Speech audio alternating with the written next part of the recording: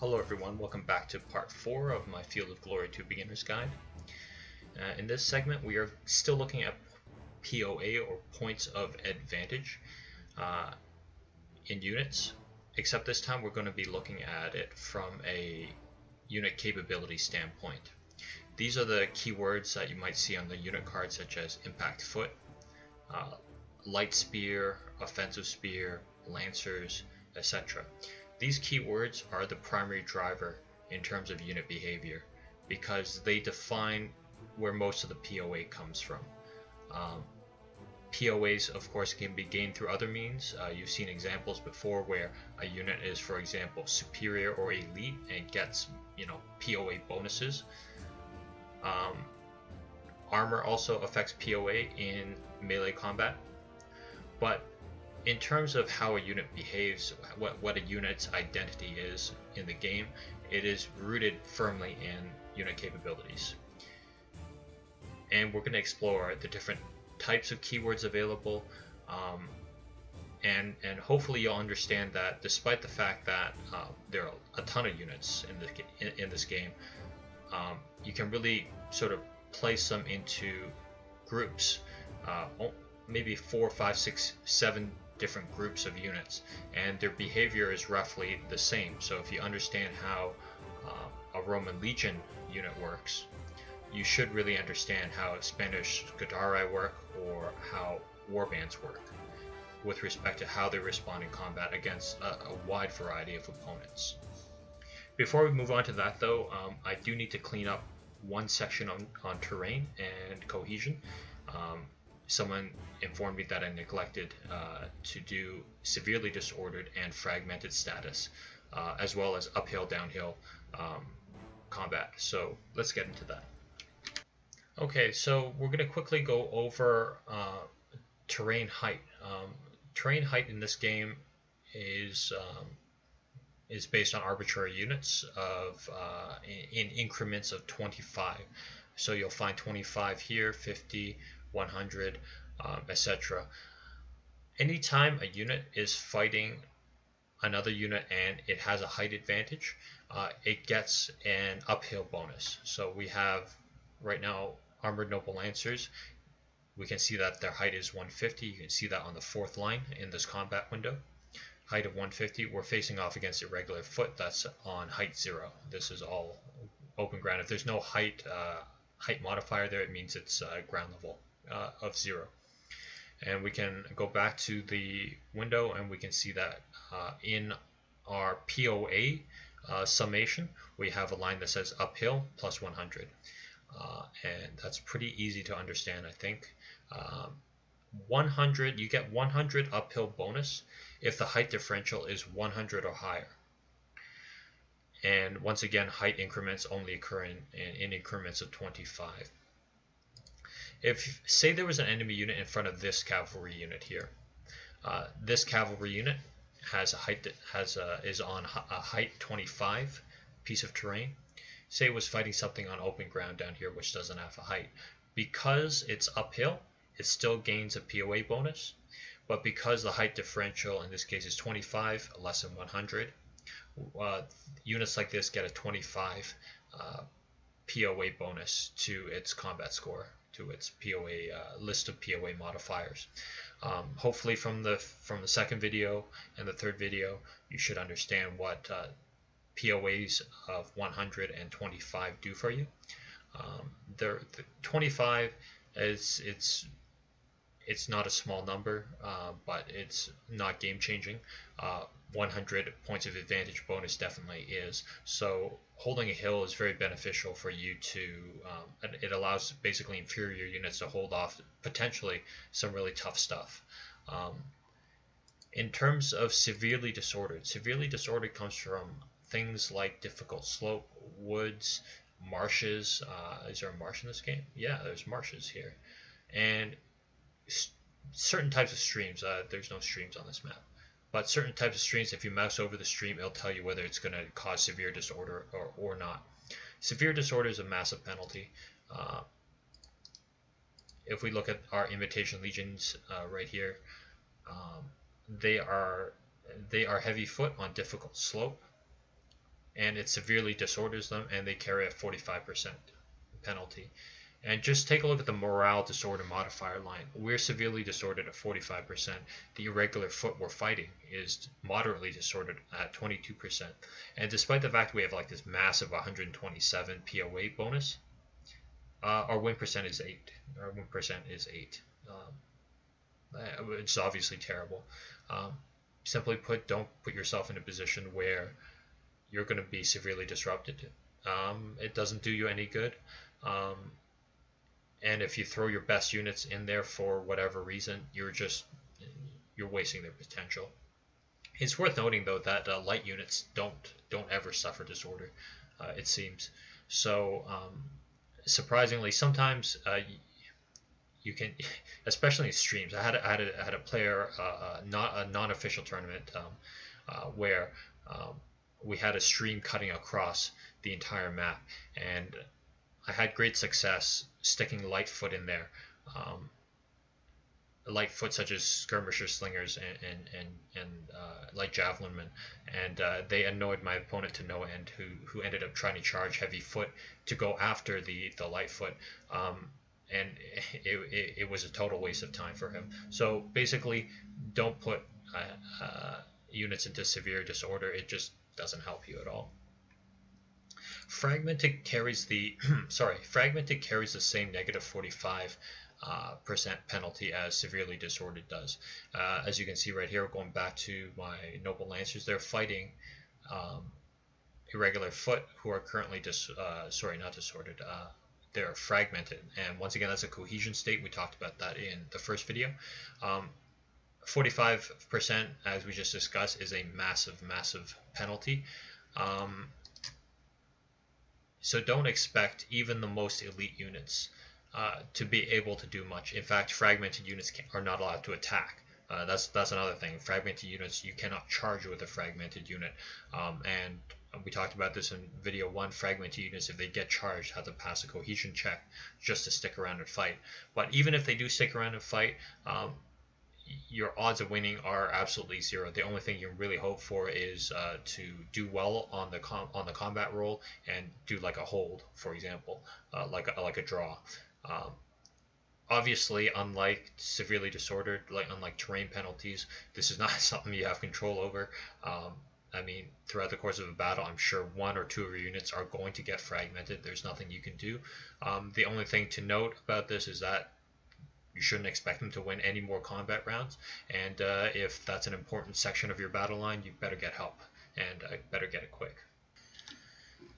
Okay, and this, uh, now that we've covered that, we can move on to the main part of uh, part four of this video, which is uh, talking about POA differentials be uh, between different unit capabilities the reason why we why I'm going over this is because parts two and three should give you a solid understanding in terms of what POA differentials mean on different terrains uh, for different unit types and how combat combat strength modifiers affect your win, draw, and loss chance on a variety of situations.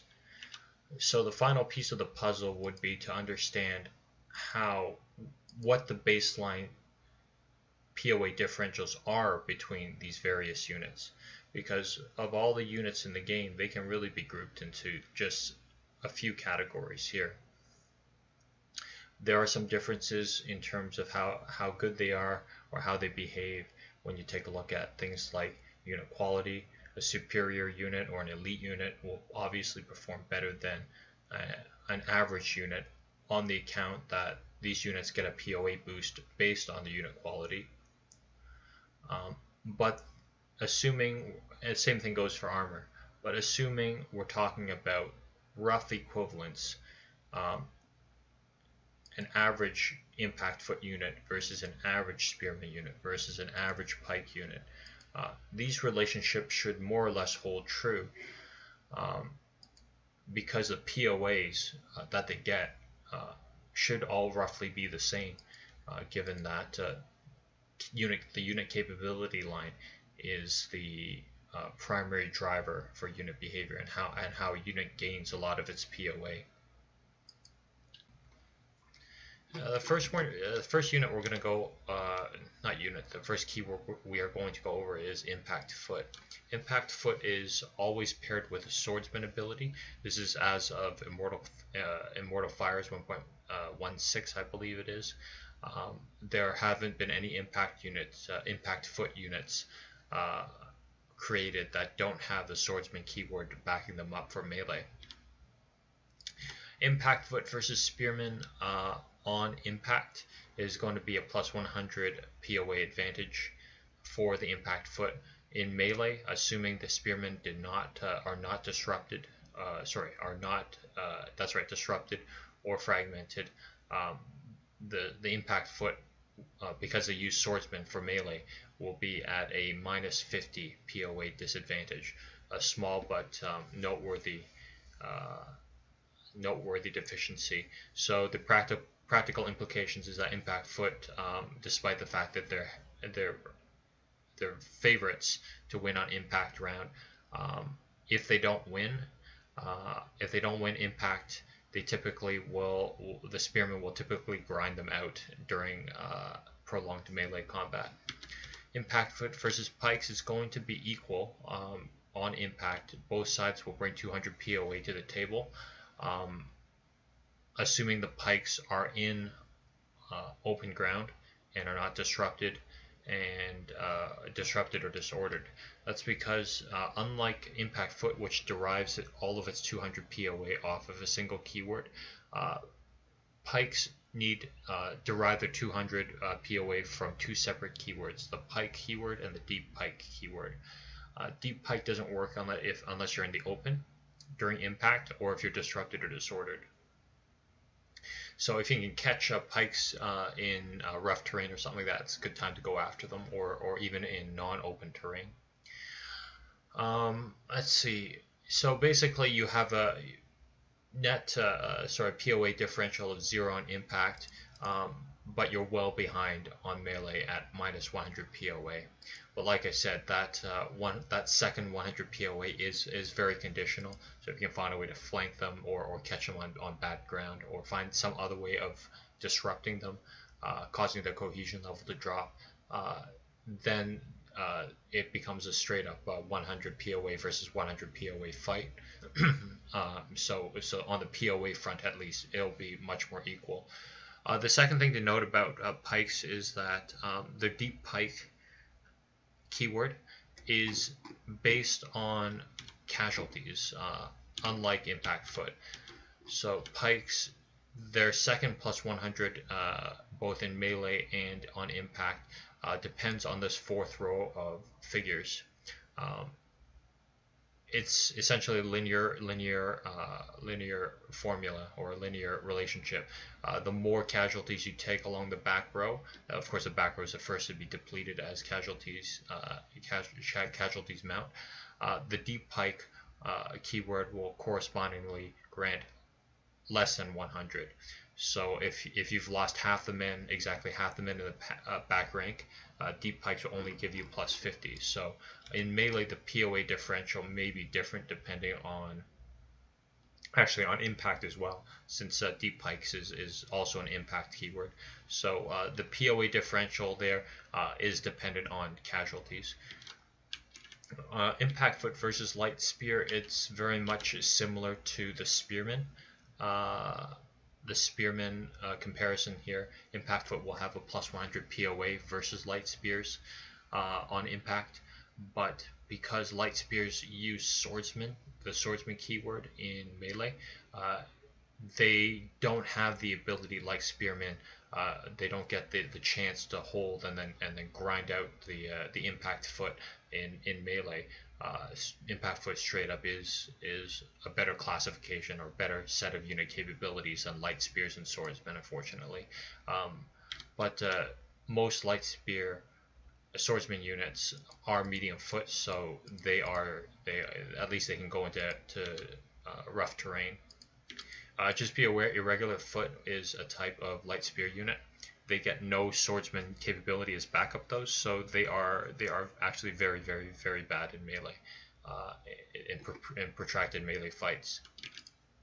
Heavy weapons, um, heavy weapons the best way to think about them when, when looking at them from the impact foot standpoint is that they are basically spearmen uh, or or actually more like light spears since they'll get plus 100 on both ends of uh, impact and melee but uh, things like Dacian Falxmen and Thracians carry heavy weapons and that will negate armor. So uh, be aware if you have um, you know stuff like Roman legionaries which are armored units um, that armor POA is not going to apply in uh, in melee.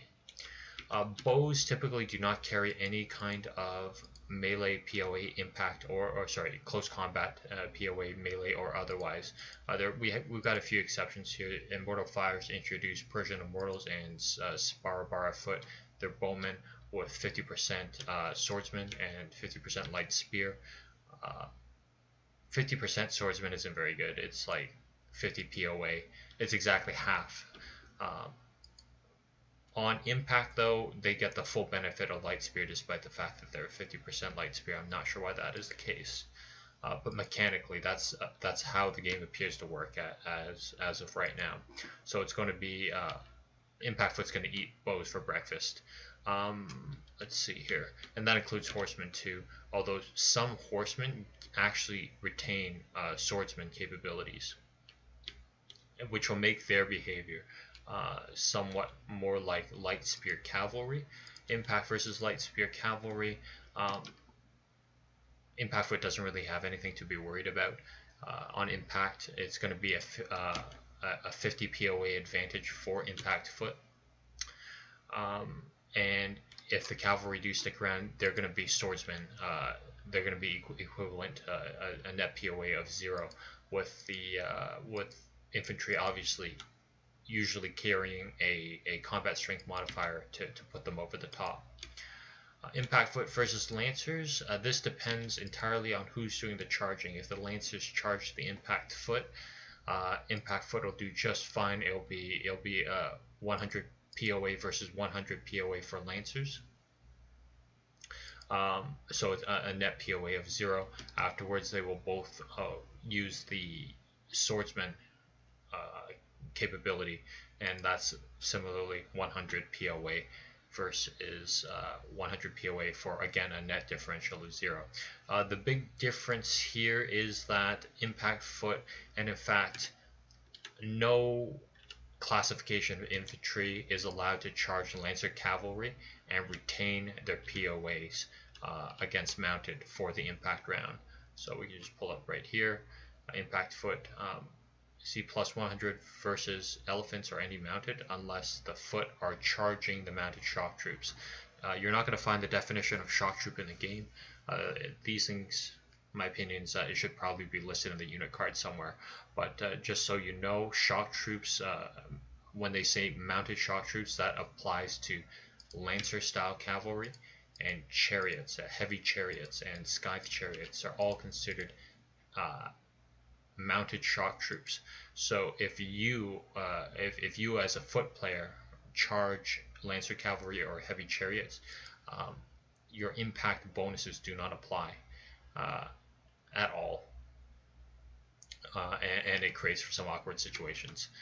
Um, impact foot versus elephants. Um, this is going to be a rough one. Elephants will get a 150 POA advantage on you on impact. Um, and in subsequent melee impact foot because of use swordsman they actually don't get any POA at all versus elephants and elephants will carry a 100 POA advantage on the on the swordsman or the impact foot uh, which have now been turned into swordsmen because they're in melee combat so elephants are actually really good against impact foot uh, for impact foot versus chariots, chariots will carry a uh, 50 POA advantage on impact. Um, in subsequent melee, it's going to be uh, 100 POA versus 100 POA, so that that's going to be even in melee. But uh, you're slightly slight underdog uh, initially. Uh, versus Scythe Chariots, it's it's worse. It's going to be 150 POA uh, combined uh, modifier against impact foot on on the impact round. In melee, um, chariots uh, chariots do okay. They're they're 100 POA versus uh, swordsman, so that's going to be an even fight. But that's assuming the input, impact foot managed to survive the impact round against chariots. Uh, moving on to spearmen. Spearmen um, get 100 POA against everything unless they're disrupted or fragmented. Uh, sorry, unless they're fragmented or severely disordered. Sorry, I misspoke there. Um, we've already talked about impact foot and spearmen, but if we're talking about spearmen versus pikes, um, you spearmen are basically down uh, 100 POA. They suffer a 100 POA deficit against pikes in both impact and melee. Uh, of course, that could be less depending on casualties on, on the pike unit. There is a classification of spearmen called defensive spearmen. Right now, I only know of levy spearmen that have this capability line. Defensive spearmen is exactly the same as regular offensive spearmen, but similar to the you cannot charge rule uh, for foot versus cavalry, uh, levy or, or, sorry defensive spearmen uh, cannot charge anybody uh, and get an impact uh, impact POA boost. So for example, uh, levy spearman charging even another levy spearman unit, that levy spearman unit that's doing the attacking gets zero POA. but they will get their 100 POA once melee melee starts. Um, spearmen versus light spears. Uh, this one very much is favored for the spearmen. Uh, there's a, a, net POA differential of zero on impact. Both get 100 POA, and uh, so it's unlikely the spearmen are going to lose that opening round of combat. And then since they're already steady, and uh, most light spear units use the swordsman keyword, um, the swords, the, the light spears are going to be at a 50 POA deficit uh, during melee. Spearmen versus bows, same thing. Uh, bows are unlikely to foot bows at least are unlikely to put up too much opposition, assuming you can you can make it to them without uh, suffering a lot, you know, without getting disrupted by missile fire or, or, or getting routed by missile fire.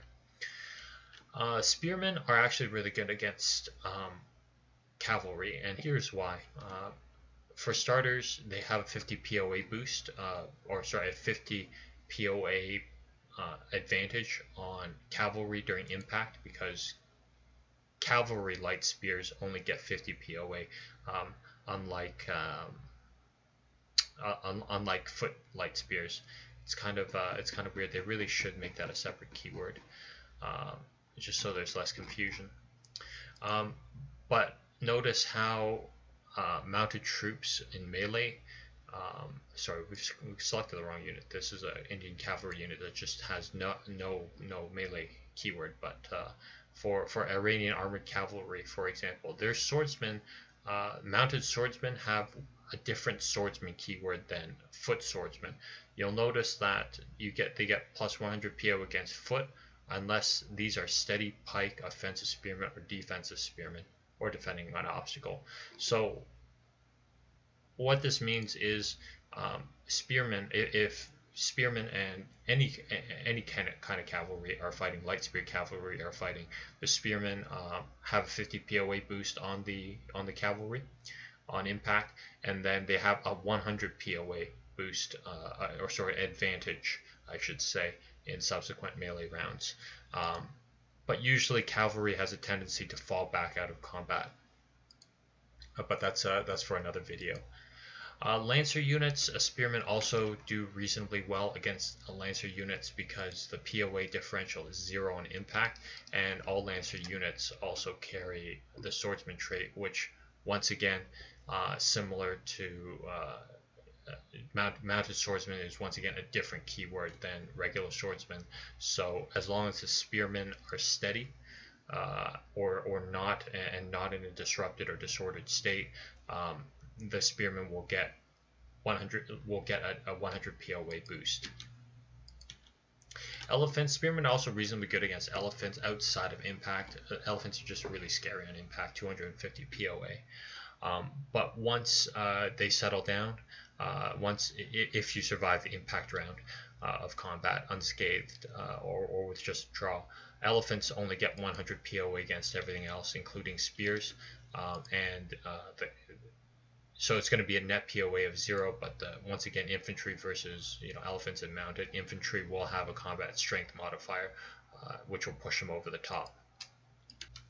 Uh, spearmen are also really good against, are, are very solid against chariot types since uh, chariots do not generate uh, their mounted troop bonus uh, versus steady spearmen or, or steady pikemen. Uh, in subsequent melee rounds, same thing. These heavy chariots or scythe chariot rules, they don't apply POA to spearmen or, or they don't generate uh, POAs against spearmen who are steady. So uh, spearmen, as long as they're not disrupted, uh, disrupted, they maintain a steady cohesion.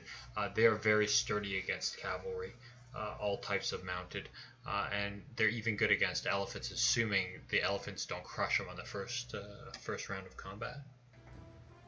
Okay, we're starting to get a bit long on this video, so I'm going to cut it off here. Um, the rest of the POA differential presentation will occur on uh, part 5 of, uh, of this series. Uh, hope it's been helpful so far to uh, all the beginners, and uh, we'll see you in a bit. The next video shouldn't take nearly as long since I've got most of my notes organized. I just have to uh, record record the, the session, obviously, and just get it uploaded. See you soon.